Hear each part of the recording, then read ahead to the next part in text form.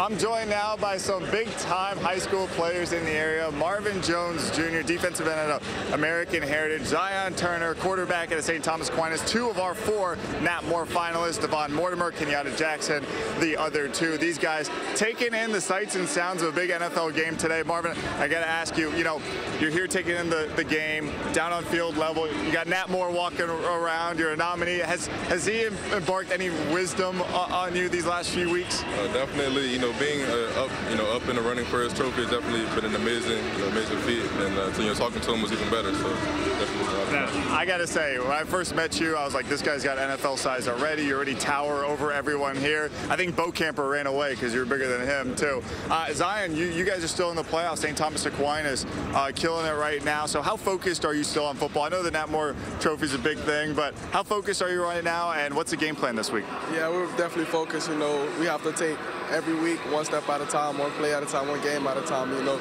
but Nat Moore. It's, it's a great accomplishment right now. I'm focused on winning state championship. So. Look at you smile. You guys have done both a lot of winning. By the way, have you met John Congemi yet? I mean, we got two two great St. Thomas Aquinas legends in the house right now. Uh, guys, just what what's the reception been like for you guys? I've seen the votes. There's tens of thousands of votes going on for the Nat Moore Trophy. So are, are people starting to get you hyped up for this? Uh, I mean, I think so. Uh, it's definitely great, you know, having all the support from, you know, the people down here in Miami. So it definitely feels good to, you know, people have your back like that. So. What about you, Zion? The hype is definitely there. You know, a lot of people, you know, calling, texting, you know, wanting to vote. So the hype is definitely there. Yeah, I know you went through a photo shoot with Jim Berry. Was he hogging up the camera the entire time? yeah. Yeah, he was. Okay, there you go. There you go. We get to let Jim know they get a little less camera time, JB. Uh, thank you guys so much for joining us here on the field.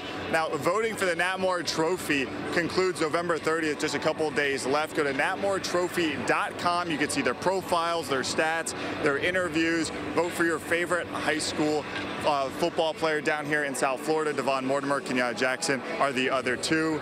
Zion Turner, Marvin Jones Jr., thank you guys so much for joining us. We'll have much more on Dolphins Weekly Live when we come back.